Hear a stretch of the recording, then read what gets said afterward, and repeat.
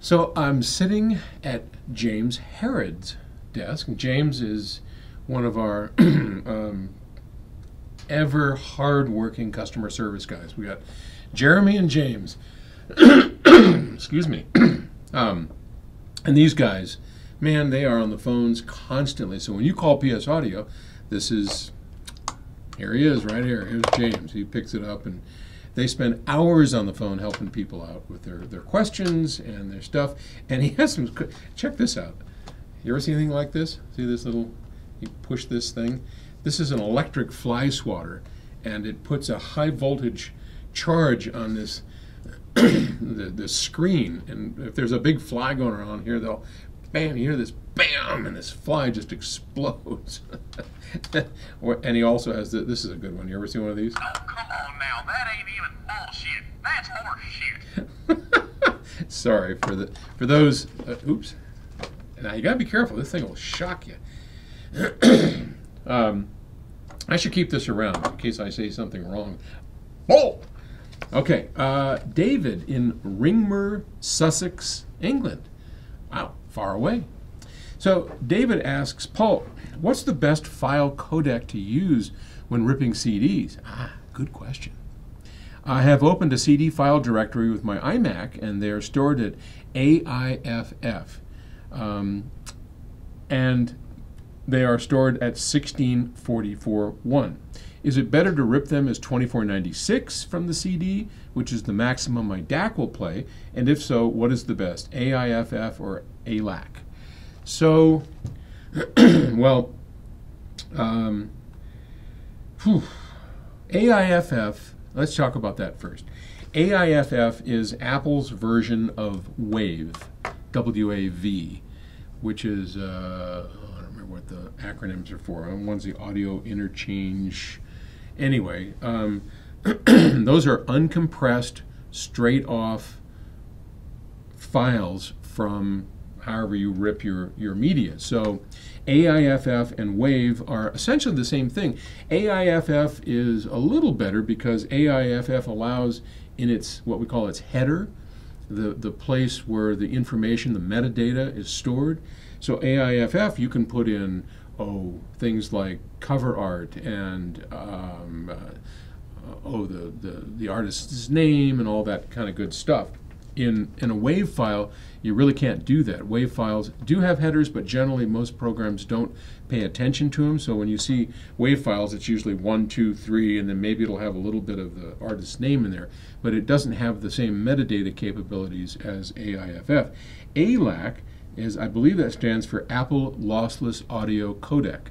And that's the same as FLAC, which is the free lossless audio codec. So you probably heard the two, ALAC and FLAC.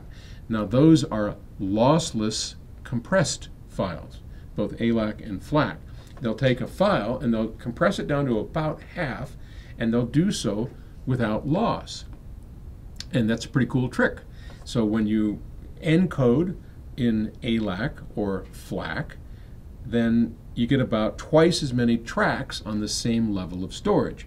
When you play it back, it has to decode that back into essentially a WAV file or an AIFF. And one quick note about that. There are a number of people who believe that a ALAC or a FLAC encoded lossless file does not sound as good as an un compressed lossless or uh, WAV file or AIFF. And there's some merit to that. Now, what's interesting about that is we can show very clearly that the bits are identical. So when, when they say it's a lossless file, it really is a lossless file. There are no bits lost. So how could they sound different?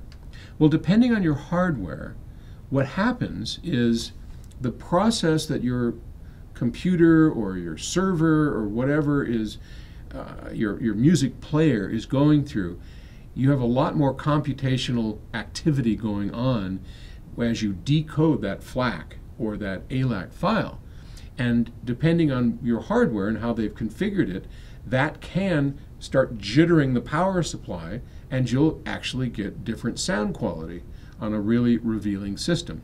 But as far as sound quality based on the veracity, uh, the honesty of the bits, no, they the bits bits are bits are are absolutely the same. Okay, so what was the other? Oh, yeah, all right, key. Should he record it in what was what did he want to do? 2496 from the CD, which is the maximum his DAC will play. Well, that's called upsampling, and CDs have 16 bits, and they are sampled at 44 1, 44,000 times a second, actually divided by two because we've got stereo. Oh no, no, that's actually accurate. You know, it's it's the Nyquist. So uh, it, it's double. Nyquist basically says whatever the maximum that you want to get out of something, you have to at least double the sample rate from the highest notes that you want to play. So 20 kilohertz has to be 44. So in order to make the filters work, they set it at 22 kilohertz, uh, and then uh, uh, 21, whatever. My math skills aren't all that great. Anyway, whatever. Uh, yeah, 22. So 44.1 is is how they arrived at that because uh, you have to sample at twice the the bit rate that you want to actually play back in order to get uh, fidelity out of the thing without any kind of aliasing, which are artifact stuff you don't want, right? So by upsampling, you can get 2496, 96 uh, being twice the sample rate of 48 kilohertz, which is what most recording studios of that era uh, they, they, they recorded everything at 48, then they downsampled it to 44 for the CD. There's always that little bit of a mix. So that's what 96 kilohertz is. And the 24 bits, so bits has to do with dynamic range. The, the greater the number of bits, the greater the dynamic range. But there's only 16 bits originally recorded. So if you add eight more bits, to get 24, there is no more information. The only thing you can do is what's called dithering, and you can add some dither to it, some uh, random noise, which can help in some of the lower resolution bits, but not recommended. You're not going to get anything more out of it. Higher sample rates, years ago I might have said that it was better because it uses a different filter. But in general, no, I, I, I, would not upsample it. It takes more bandwidth. I can't see any advantage to it. So I'd keep them at 44.1. Last thing, if you're going to play this stuff back and you have some 44.1 and you have some higher resolution things, get a program called Bit Perfect. I think it's $10. And you put that onto your Mac. And now, whatever sample rate is native to the, the music will be what's played back, and you obviate an entire bunch of crap inside of the Mac that makes things sound bad. It runs it through an automatic upsampler, and if you, you want to avoid all of that. So for 10 bucks, it's a great tweak, and you'll have much better sound than you would if you hadn't put that in. Sorry for it being so long. Thanks for the question. Bye.